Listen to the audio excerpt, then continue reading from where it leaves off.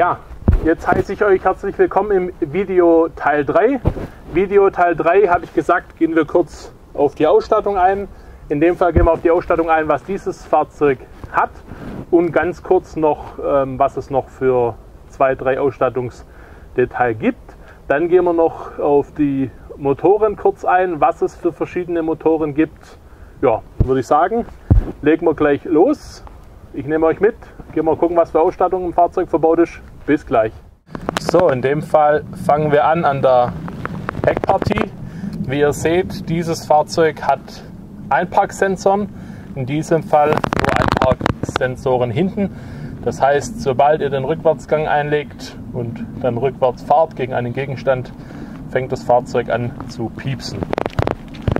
Wenn wir hochgehen zu den Rückleuchten, seht ihr, wir haben hier ein Vor-Facelift. Facelift kam beim Limousine bei der Touring ab 2001. Dort sind dann die Rückleuchten anders. Die Heckstoßstange ist anders an der Heckpartie. Vorne sind die Lichter anders und die Frontstoßstange natürlich auch anders. Da kommen wir aber nachher dazu. Jetzt gehen wir ab nach vorne. Vorne sehen wir, dass das Fahrzeug Xenon verbaut hat. Wir haben eine Reinigungsanlage. Wir haben eine Linse und es steht auch natürlich drauf, das seht ihr jetzt auf der Kamera nicht, dass Xenon verbaut ist. Das heißt doch relativ viel Ausstattung bereits, obwohl es ein Fahrzeug ist aus 1999. Die Blinker auch alt.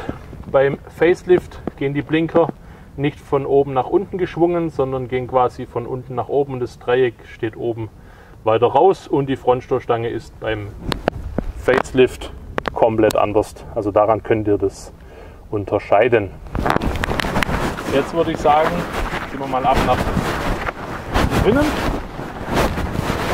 Drinnen haben wir verbaut in diesem Fahrzeug Stoffsitze. Hier gibt es natürlich Ledersitze und elektrische Sitzverstellung. Was wir haben, anklappbare und verstellbare Außenspiegel, finde ich relativ gut bei dem Fahrzeug. Wir haben keine Multifunktion, wir haben kein Tempomat, das sind alles Sachen, die gibt es bei diesem Fahrzeug, ist hier aber nicht vorhanden. Im Gegenzug haben wir elektrische Fensterheber vorne und wir haben eine Sitzheizung, seht ihr hier unten, und den Rollo für die Heckscheibe. Und hier oben die Klimaautomatik und darüber das Kassettenlaufwerk. Da kann man natürlich Abhilfe schaffen mit einem CD-Radio oder ähnliches. Jetzt würde ich sagen, gehen wir mal ab nach hinten und schauen wir mal, was es da noch an Ausstattung gibt.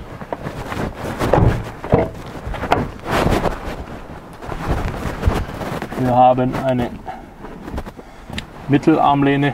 In diesem Fall, wir haben außen Kopfstützen, ist auch nicht immer selbstverständlich. Und in dem Fall ist aber die Rücksitzbank fest und nicht geteilt. Das gibt es aber auch optional bei diesem Fahrzeug. Isofix und so weiter, das gab es damals in diesem Modell noch nicht. Ich bin der Meinung, das wurde erst im Facelift nachgerüstet, bin mir aber hier auch nicht sicher. Ja, das war jetzt ein kleiner Überblick vom Fahrzeuginnenraum. Jetzt gehen wir ab nach vorne. Und dann gehen wir kurz die Motoren durch. Wir haben hier den Hebel.